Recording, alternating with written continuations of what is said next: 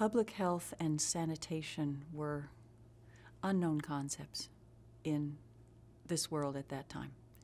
The smells are gross. I mean, it's it's rotting carcass, it's blood work, it's urine work, it's it's viciously smelly, and nobody has a thought that somehow that's wrong. That shouldn't be part of the ambience of a human community. Um, children play in the same muck on the street that uh, that adults walk in. Nobody thinks that's necessarily bad for kids. Pigs walk, and pigs attack children, dogs attack children.